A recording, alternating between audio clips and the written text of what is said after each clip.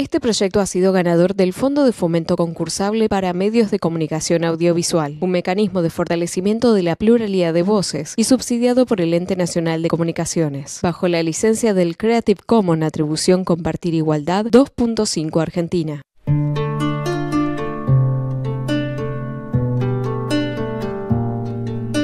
Fui una persona muy, muy querida, que lo soy muy deseada, muy buscada y que tengo una abuela. No lo puedo creer. Les reafirmamos que acá solo les espera el amoroso abrigo de la verdad. amoroso abrigo de la verdad.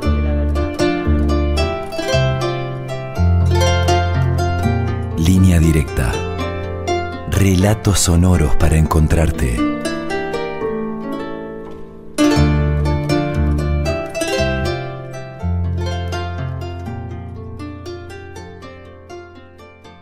Valenzuela Negro.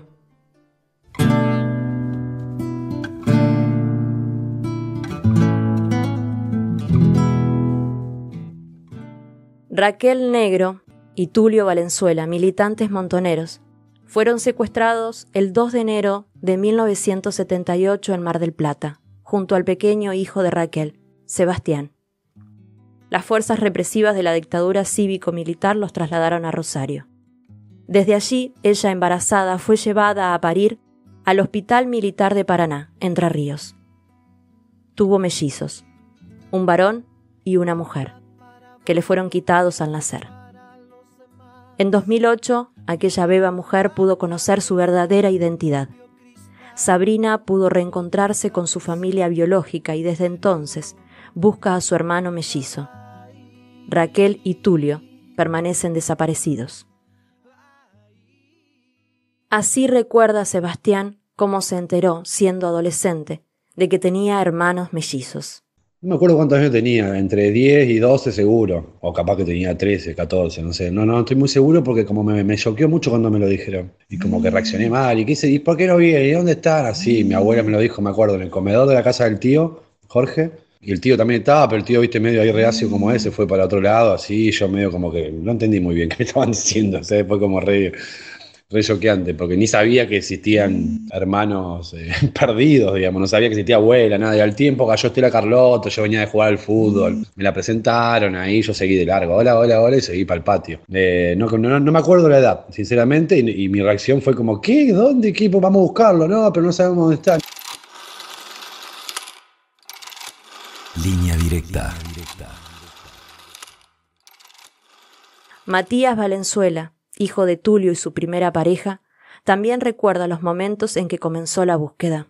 Eh, bueno, yo me enteré a través de mi madre, que cuando yo fui un poco más grande, cuando tenía edad de entender, eh, me fue contando acerca de, que mi papá no, no había muerto, que no, no, le había pasado ningún accidente, que, que fue secuestrado y, y, me fue contando que ella leyó en un libro, en el libro de Bonazo, que relataba los últimos momentos de, mi viejo y, que había formado otra pareja y que, habían tenido mellizos. Entonces eh, fue un momento muy movilizador porque bueno, me había enterado que tenía hermanos que no, estaban. Entonces cimbronazo llevó tiempo, llevó tiempo para, que yo lo pueda asimilar, podría, pueda entender.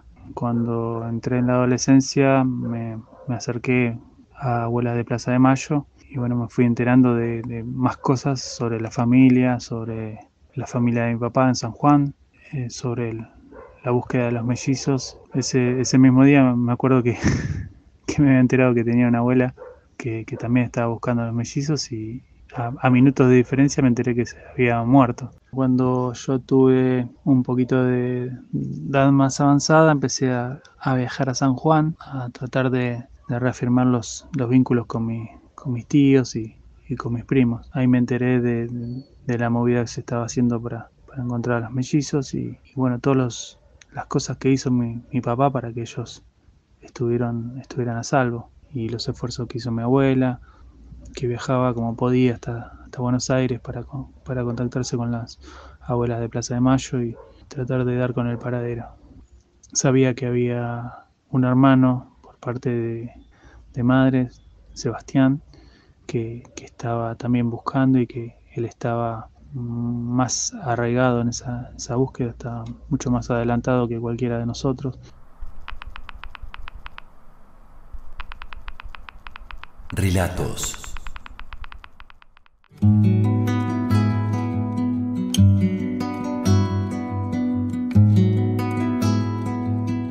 Conocer a Sabrina fue para Matías uno de los momentos más maravillosos de su vida.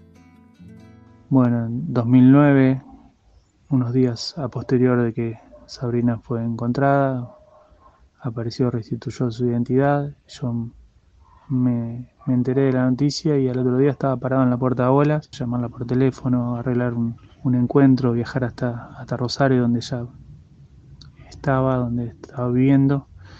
Y bueno, tratar en lo posible de contar toda la vida en, en, poco tiempo y, este fue un momento muy vertiginoso emocionalmente y fue una de las mejores cosas que, me pasó en la vida. Eh, respecto a, las cosas, a, las sensaciones que tuve ese, día, fueron, fueron maravillosas. Eh, no podía creer que teníamos cosas en común, a pesar de, habernos criado en ámbitos completamente diferentes. Eh, se han robado muchos años de nuestras vidas y se siguen robando con el Messi, que todavía no aparece. ¿Y qué le diría al Messi? Nada, decirle que, siempre lo, esperamos, siempre estuvimos atentos a, a su aparición, esperándolo, esperándolo y tratando de que esa espera sea lo más corta posible. ¿Qué le diría? Le diría que, por qué tardó tanto. Y, que cuenta con un, con un, apoyo incondicional. Me encantaría conocer a su familia y que conozca la mía y, que podamos vivir cerca y, vernos seguido y compartir compartir, tratar de recuperar todos esos años que fueron robados. Sonidos. Cuando amanezcas todo volverá a brillar. El sol espanta los fantasmas del dolor. Para Sabrina, conocer su verdadera identidad fue un puente hacia la búsqueda de su hermano. Descubrir que tengo un hermano mellizo por encontrar, que fue separado de mí, de nosotros, en manos de la dictadura cívico-militar, se dio al mismo momento en que pude conocer mi propia identidad. Era diciembre de 2008 y en la ciudad de Paraná tenía lugar un acto en donde nos daban eh, el resultado del ADN que 20 días antes, eh, en el marco de una causa, eh, me habían extraído. Ahí mismo, acompañada por mi familia adoptiva, Gulino, eh, recibía las noticias de que era hija biológica o que era hija de Tucho, Tulio Valenzuela, y de María Raquel Negro. Pero la historia en este caso no, no pudo cerrarse ahí, sino que con esa noticia se abría, porque Raquel había dado a luz entre el 3 y el 4 de marzo de 1978 en el Hospital Militar de Paraná a mellizos. Y esa pregunta, ¿dónde está el Messi? Valenzuela Negro, fue la que ofició como norte eh, y la que me llevó a mí a sumarme también a una búsqueda colectiva que se venía desarrollando desde hacía más de 30 años. Y a partir de, saber que, y de descubrir que él había nacido con vida y que había sido dado de alta Em, del Hospital Militar de Paraná y que lo habían trasladado al IPP, al Instituto Privado de Pediatría, eh, agudizamos también esta estrategia de búsqueda, eh, no solo con Sebastián y Matías, mis hermanos mayores, sino también con los compañeros de Hijos Paraná, los equipos jurídicos de abuelas, de Nación, eh, sobre todo impulsando una investigación que yo creo que hoy, mirando en retrospectiva, fue extraordinaria porque obtuvimos dos instancias de justicia, dos juicios por delitos de lesa humanidad.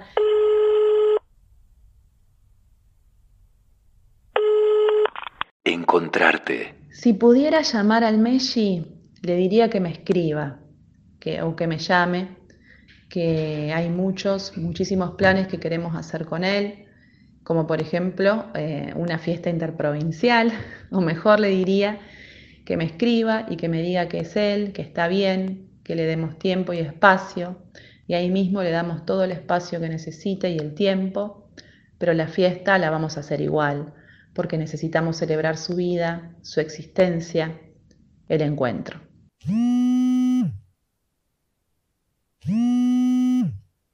Llamarte. Si pudiera conocerlo, este, le diría que, que está bien lo que haya hecho en su vida. Que no, no me interesa juzgarlo. Me interesa eh, poder compartir eh, con él lo que él vivió y lo que yo viví y lo que, lo que soñamos con, con poder verlo. Habrá ganado un hermano mayor este, que, que siempre va a estar cuando lo necesite.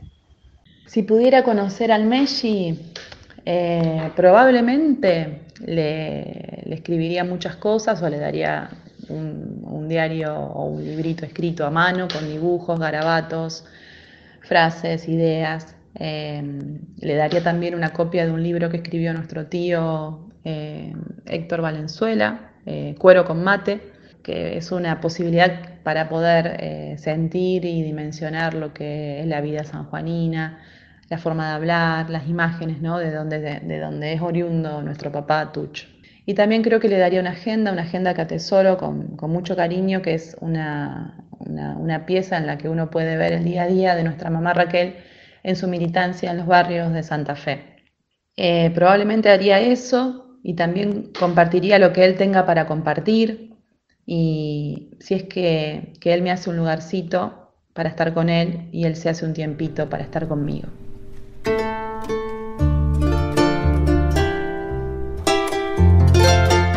Fue una producción de Radio Comunitaria Barriletes, Hijos Regional Paraná y Abuelas de Plaza de Mayo Filial Rosario.